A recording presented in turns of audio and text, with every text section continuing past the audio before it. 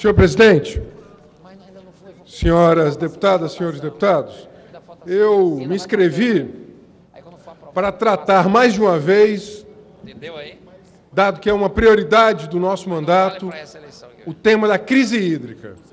Mas eu não poderia, obviamente, deixar em brancas nuvens, é, em respeito, inclusive, ao deputado doutor Santana, estava ouvindo atentamente a seu pronunciamento e queria dizer-lhe que ontem o governo federal, através do seu Conselho de Política Monetária, ele manteve a taxa básica de juros no patamar de 14,25% ao ano, portanto, a, uma das maiores taxas de juros do mundo. O que, obviamente, é a maior estratégia de transferência de riqueza dos mais pobres aos mais ricos. E quem faz isso é o governo da presidente Dilma. Quem fez isso foi o governo do presidente Lula. Quem fez isso foi o, o, governo, o governo de Fernando Henrique. A mesma macroeconomia que se desenvolve e piora. Portanto, não é possível se opor ao ministro de Dilma sem se opor a Dilma, que nomeou o ministro. Portanto, me parece uma contradição difícil de sustentar. Se opor exclusivamente a um ministro e não ao governo. Vossa Excelência permite uma parte, quando possível? Pois não, deputado. Deputado Rosendo, apesar de ideologicamente não estarmos no mesmo campo, mas Vossa Excelência está relatando aí uma, um assunto que é fato. É muito interessante, eu comentava nesse momento, há pouco tempo atrás, não sei se Vossa Excelência estava ouvindo. Sim, estava. Em cima do, do, do, do pronunciamento do deputado doutor Santana, que o, o PT, quem está desfazendo tudo o que o PT falava é o ministro Joaquim Levi, que eu acho que ele está certo. E aqui não está em jogo a questão ideológica de, de pensamentos que, de econômicos ou de modelos econômicos, mas de você ter um governo que nomeia um ministro que não é ideologicamente, é, não pensa ideologicamente como o seu partido e, e, como a presidente, e você tem uma dicotomia hoje dentro do governo, o ministro diz uma coisa, o outro vai e desfaz. A presidente alisa, depois bate. E totalmente desmoralizado. E o que é que leva a isso? falta de credibilidade cada vez mais crescente do país. É isso que está acontecendo. Parece, se você fosse pegar um governo e dizer assim, vamos fazer tudo para que a credibilidade do Brasil chegue a zero, não teria tanta competência para fazer isso como esse governo. Obrigado. Deputado, eu, eu acredito que todas as medidas, assim meu pensamento, eh, de fato temos divergências, é, as medidas que o ministro Levi adota são medidas absolutamente recessivas. O Brasil teve uma desindustrialização acelerada é, nos últimos anos. Houve uma. É, esse ano houve queda da indústria em 16%, e tudo isso, o ajuste fiscal custou 70 bilhões, 1% da taxa Selic representa mais do que o Bolsa Família inteiro. O Bolsa Família hoje custa 28 bi. A taxa Selic, 1% da taxa Selic, tira do orçamento público 30 bi. Portanto, deputados que se colocaram aqui contrários ao ministro Levi, estava ouvindo o deputado doutor Santana, não é possível ser contra o ministro e não ser contra o governo que nomeou o ministro. Portanto, o ministro, ele é ministro de um governo.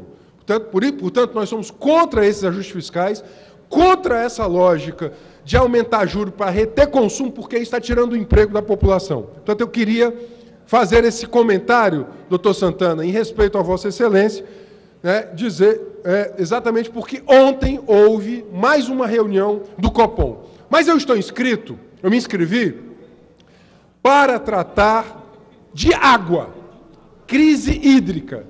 E eu estou absolutamente espantado, espantado, é indignante com as notícias que foram trazidas. Estou aqui. Trazidas pelos jornais, estou aqui com a cópia do Diário do Nordeste, de algo que já vimos denunciando há muito tempo: captação irregular de água. Captação irregular de água. Pela carcinicultura em especial. Está aqui.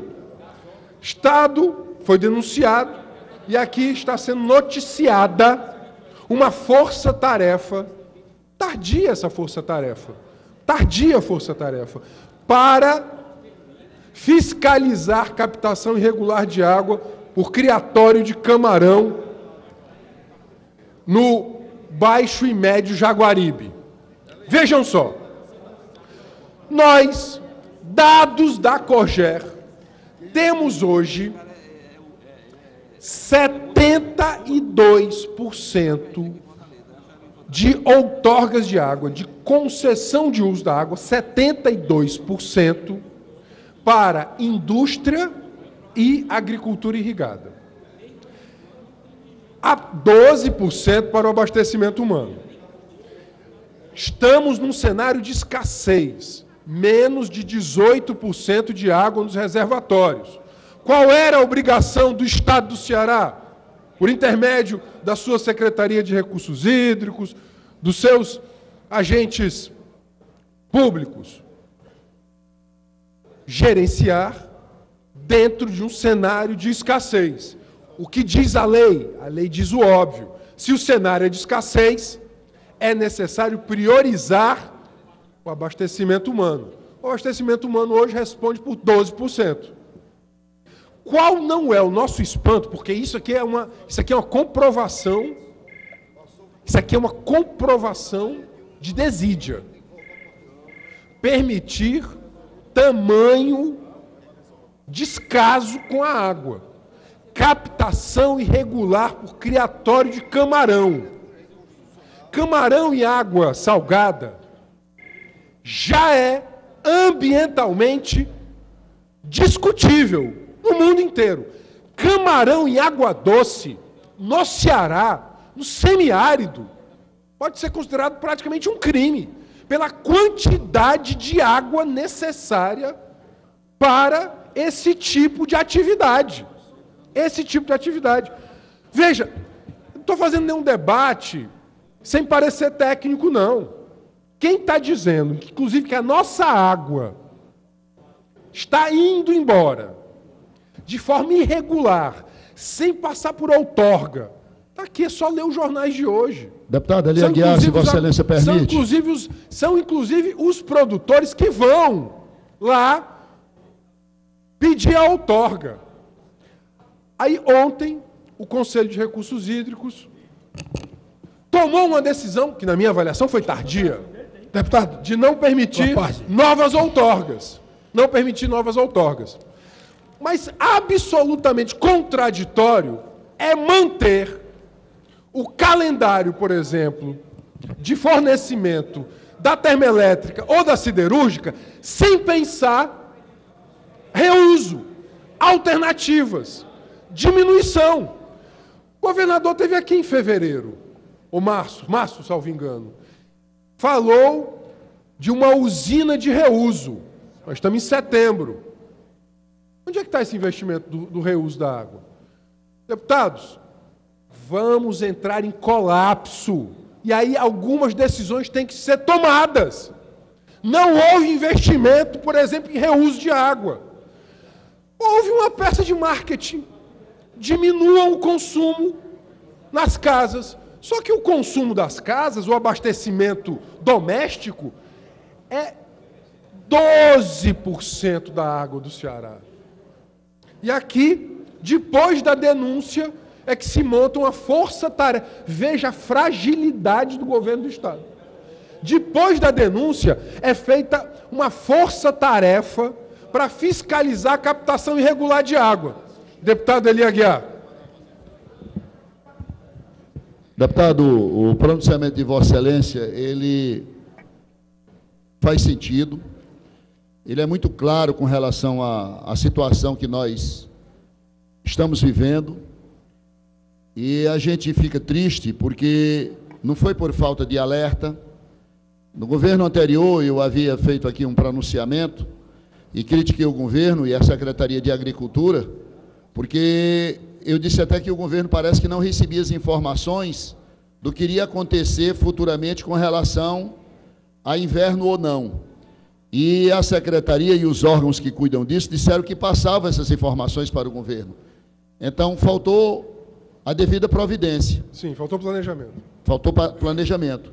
E nós apresentamos aqui um projeto de indicação que foi aprovado por esta casa, e eu não sei como é que está o trâmite dessa nossa sugestão, no sentido de que fosse criado por parte do governo do Estado, esta casa aqui aprovou, e eu pediria até ao Evandro Leitão, que é o líder do governo, que visse como é que está a tramitação desse projeto que nós aprovamos aqui, sugerindo, deputado Evandro, que o governo criasse, implantasse o Fórum Permanente de Debates sobre os Recursos Hídricos, para evitar justamente isso que está acontecendo e que o deputado Roseno está denunciando, está falando. E esse fórum, eles seriam formados por técnicos do DENOX, técnicos da Secretaria de Agricultura, representantes do Ministério Público, da Defesa Civil, da Prece, da Assembleia, faziam um estudo e apresentava o resultado desse estudo ao governo, para que nós não atravessássemos o que nós estamos atravessando, e Vossa Excelência também denuncia. Eu quero parabenizá-lo pelo Obrigado. pronunciamento, pela lucidez do que Vossa Excelência coloca nesta casa. Obrigado, deputado Eli. Deputado Manuel Duca. Deputado Roseno, eu admiro Vossa Excelência porque está sempre é, preocupado com o meio ambiente. É uma preocupação com agrotóxicos. Mas veja só, Acaraú é o município que produz a maior quantidade de camarão no Ceará. Depois de Acaraú é Aracati. E, vamos dizer assim, 98% é água salgada, certo? Inclusive o deputado João Jaime é produtor de camarão. Aí quando Vossa Excelência falou na água doce, veja só. Porque consome-se 2,5 vezes mais água doce do que plantação de arroz. Não, tudo bem, tudo bem, mas veja só. Aí vem o assunto da água doce. Água Eu conversando um dia desse com o prefeito de Itatira, ah, no começo do ano, dizendo que o TNPM, o Departamento Nacional de Produção Mineral, perfurou um poço lá em Itatira, que é um município muito seco, Haja visto que em 2013, se não me engano, choveu ao todo o ano todinho, em 2013, é, é, 13 milímetros, foi 14 milímetros. Pois bem, dizendo que o DNPM perfurou um poço de 800 metros de profundidade, 800 metros, quase, quase mil metros, e deu a vazão de 200 mil litros hora. Veja só, é o verdadeiro rio. Então, é, o que falta é a vontade política, é, é, é água.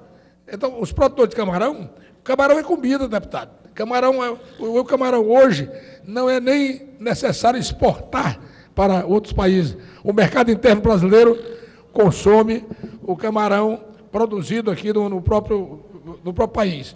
Então, tem que ver uma situação, porque se for seca também, a salinidade vai aumentar o grau e o camarão também fica prejudicado com a própria água salgada. Quer dizer, é um problema a ser estudado para que não, para que não, não, não, não prejudique a, o, o, a criação do camarão. Muito obrigado. Deputado, deputados, o que eu estou a denunciar aqui é a falta de controle do governo do Estado no planejamento dos recursos hídricos e um cenário de estiagem, nós temos obrigações. A nossa obrigação legal ética é com o abastecimento humano. Portanto, se há um poço artesiano com grande capacidade de produção de água doce, é natural, é lógico, é razoável, é ético, é jurídico que você carreie esta água para o abastecimento humano.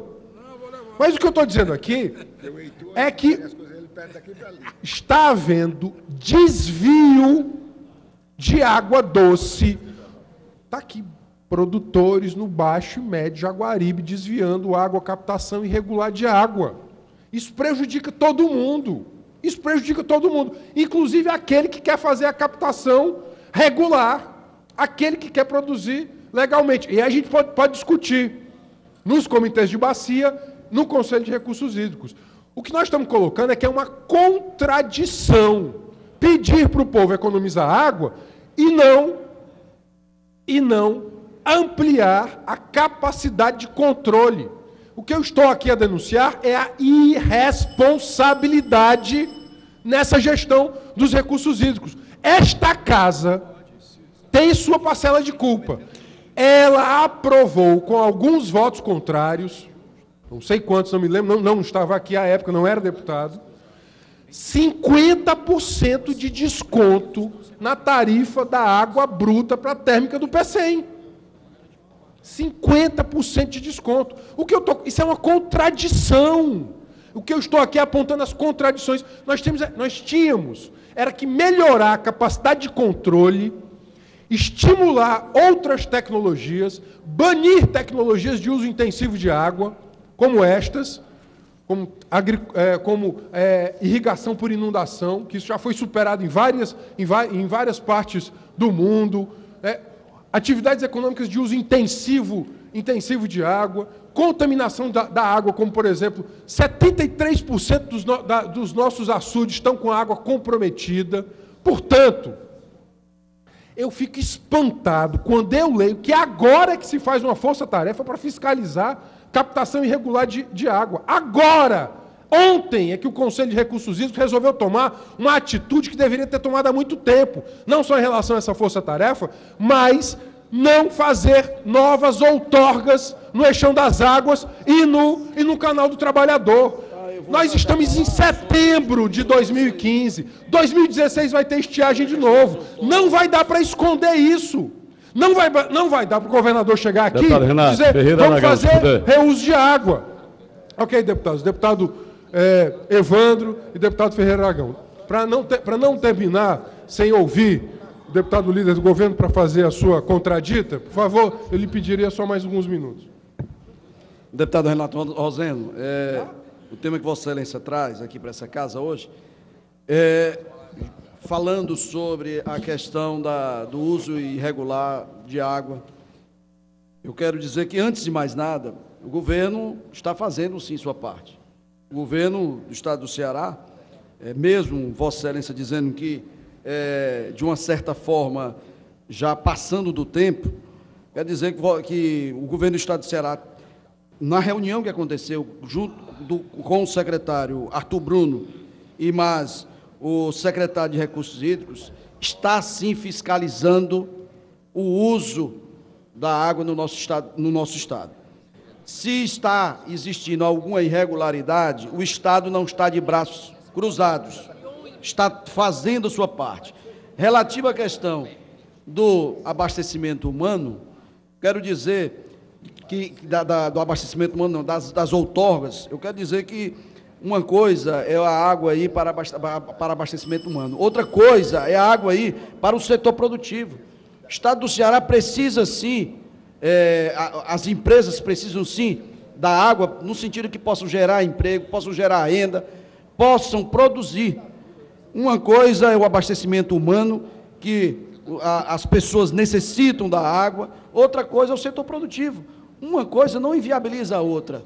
Uhum. Portanto, na reunião que, que se teve ontem, do secretário Arthur Bruno, do secretário Teixeira, da, do Recursos Hídricos, da SEMASSE, que é o doutor Ricardo, foi disponibilizado a, a, toda a fiscalização no sentido que, de que possam, que, que as pessoas possam estar utilizando a água da melhor maneira possível é, para abastecimento humano e também essas outorgas estão sendo sim é, acompanhadas para e passo pelo, pela Secretaria de Recursos Hídricos, no sentido de que nós possamos aqui, com o problema que nós estamos passando, que o Estado do Ceará está passando, de estiagem. Deputado Roseno e o deputado Evandro, eu já dei os três minutos, vou dar mais um para Vossa Excelência encerrar aí. Pois não. No sentido de que possa sim a água estar tá sendo utilizada da melhor maneira possível. Obrigado aí, deputado. Deputado Rosendo. Não, deputado Rosendo, conclua. É, O deputado Ferreira Aragão havia me solicitado, deputado. Não, eu, eu entendo aqui, eu, eu, compreendo, eu compreendo que, que o tempo se, se, exauriu. Queria finalizar e, obviamente, é, acolherei a parte do deputado Ferreira Aragão logo, logo, logo, logo depois, mas eu queria finalizar nesses últimos segundos e dizer o seguinte, deputado Evandro. Água é água. A água do setor produtivo e a água para abastecimento humano é água. Se fa vai faltar água, vai faltar água para o povo e a gente vai botar água para camarão? Vai faltar água para o povo e a gente vai botar água para o agronegócio? Essa decisão está pendendo sobre nossas cabeças. É disso que eu estou falando. Vai faltar água para o povo e a gente vai continuar botando água para a termoelétrica a carvão? Isso vai acontecer. Eu estou dizendo que isso vai acontecer, não é da minha cabeça, não. Eu estou lendo todo dia os relatórios da COGÉ, da SRH. É isso que vai acontecer. A gente vai ter que tomar uma decisão. Vamos manter tarifa baixa para a termoelétrica gastar mil litros de água por segundo? Não. Nós vamos ter que tomar uma decisão. Aqui foi apresentado um plano de reuso. Cadê o plano de reuso? Portanto, é essa denúncia que eu vim fazer aqui, dizer que água é um direito humano. Água é um direito humano, suporte à vida, e nós vamos ter que tomar mais responsabilidade, maior seriedade no uso dessa água. Muito obrigado.